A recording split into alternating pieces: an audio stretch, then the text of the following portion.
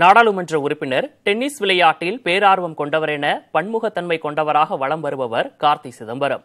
அவருடன் நமது செய்தியாளர் ராஜ்குமார் நடத்திய உரையாடலை தற்போது பார்க்கலாம்.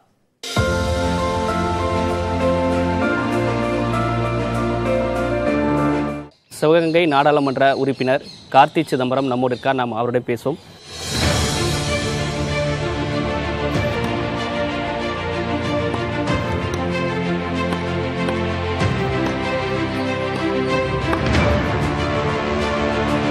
சார் வணக்கம். வணக்கம்.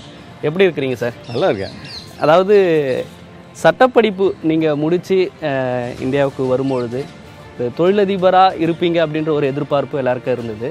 அரசியல் நுழைவு எப்படி இருந்தது? உங்களுடைய ஒரு தனிப்பட்ட விருப்பமா? அது எப்படி அமைந்தது? சரி அரசியல்ன்றது நான் பிறந்த குடும்பம் நான் பிறந்த நாளிலிருந்து நான் அரசியலை பார்த்து தான் வரேன். ஏன்னா நான் நான் பிறப்புறதுக்கு முன்பா முன்பாகவே எங்கள் தந்தையார் வந்து ஆயிரத்தி தொள்ளாயிரத்தி அறுபத்தெட்டுலேருந்து அரசியல் இருக்காங்க. அதனால் நான் என்னுடைய க்ரோயிங் அப் இயர்ஸ்னு சொல்லும்பொழுது அரசியலை பார்த்து தான் வளர்ந்தேன். ஏன்னா முதல் பொதுக்கூட்டம் நான் பேசுவதே வந்து ஆயிரத்தி தொள்ளாயிரத்தி எழுபத்தி ஏழு. எங்கள் என்னுடைய தந்தையார் வந்து காரைக்குடி சட்டமன்றத்தில் போட்டியிடும் பொழுது எழுபத்தி ஏழிலே நான் முதல் முறையாக ஒரு அரசியல் மேடையில் ஏறி இருக்கிறேன் அதுக்கப்புறம் தொண்ணூற்றி ஆறில் இருந்து நான் எல்லா தேர்தலிலும் தமிழ்நாட்டில் நடந்த சட்டமன்ற தேர்தலாக இருந்தாலும் சரி பாராளுமன்ற தேர்தலாக இருந்தாலும் சரி எல்லா தேர்தலும் பணியாற்றியிருக்கேன் இந்த நான் நான் வேட்பாளராகுவதற்கு முன்பாகவே நான் பணியாற்றிருக்கிறேன் அதனால் எனக்கு ஒன்றும் அரசியல் புதுசெலவோ கிடையாது. எனக்கு எப்பவுமே அரசியல் ஆர்வம் உண்டு.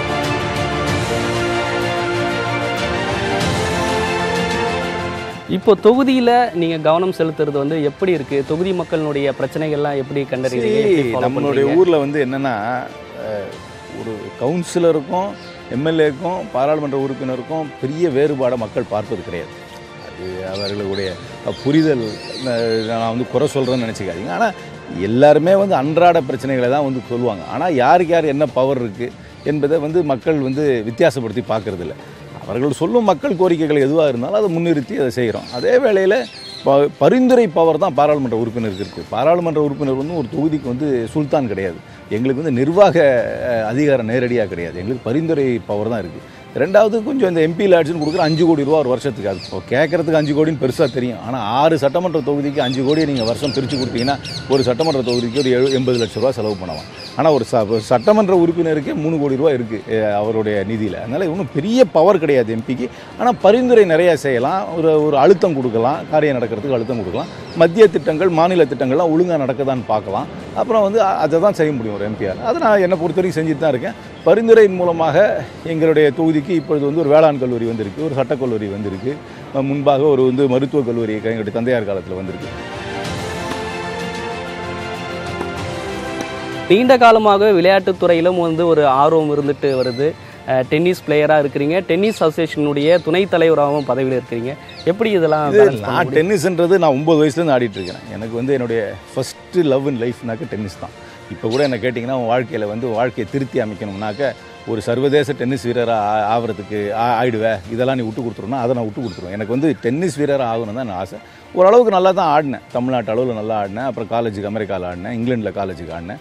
அப்புறம் கொஞ்சம் இன்டர்நேஷனல் டோர்னமெண்ட்ஸ் கொஞ்சம் ஆடிருக்கேன் ஓரளவுக்கு ஒரு ஒரு ஒரு டீசென்ட் லெவல் டென்னிஸ் ஆடிருக்கேன் இன்னும் டென்னிஸோட தொடர்பு இருக்குது முன்பு மாதிரி விளையாட முடியறதில்ல. ஏன்னா எனக்கு கொஞ்சம் ரெண்டு நீ இன்ஜரி ஆயிருக்கு ஷோல்டர் இன்ஜரி ஆயிருக்கு. முன்பு மாதிரி ஆட முடியறதில்ல. ஆனால் டென்னிஸோட நெருங்கிய தொடர்பு இருக்குது எனக்கு வந்து இன்னும் டோர்னமெண்ட்ஸ் நடத்துறது players development international play tournaments அதோட எனக்கு நெருங்கிய தொடர்பு இன்னும் இருக்குது அதனால் என்னை பொறுத்த வரைக்கும் என்னுடைய வாழ்க்கை முடியும் வரை டென்னிஸோட எனக்கு தொடர்பு இருந்து கொண்டே தான் இருக்குது நான் ஒரு பாராளுமன்ற உறுப்பினர் அகில இந்திய காங்கிரஸ் கமிட்டி உறுப்பினர். அதனால் என்னுடைய கருத்து சுதந்திரம் எங்கள் கட்சியில் உண்டு.